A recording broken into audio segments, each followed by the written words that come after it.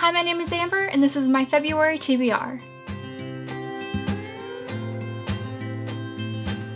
Now the first books I want to talk about are a couple of ebooks that I have for review. The first being Secret Heir by MJ Prince. I was actually sent this by the author in exchange for an honest review. We have a parallel dimension and our main character who is on Earth feels like she doesn't belong and she soon finds out that there's a reason for that. She's actually the heir to one of the seven remaining Seraph dynasties. This seems really fun and really fantasy filled. It seems like there's going to be kind of a hate to love romance in it which I am going to love so I cannot wait to start this one and this is released February 27th. The next book I will be reading for review I actually received through NetGalley and that is The Wedding Date by Jasmine Guillory. I really hope I'm saying that name right. This is about a girl named Alexa who randomly agrees to be a fake date to a wedding for a guy named Drew. This just reminds me of the movie The Wedding Date, which you haven't seen that before. It's kind of a similar concept and it sounded fun and fast and cute and I just wanted kind of a fluffy read for next month. This one is actually already out. It was released on January 30th. Next are the actual physical books that I plan on reading this month, first being Wires and Nerve Gone Rogue? This is volume 2 of the Lunar Chronicles graphic novel. This just showed up the day that I'm filming this and I am just way too excited for this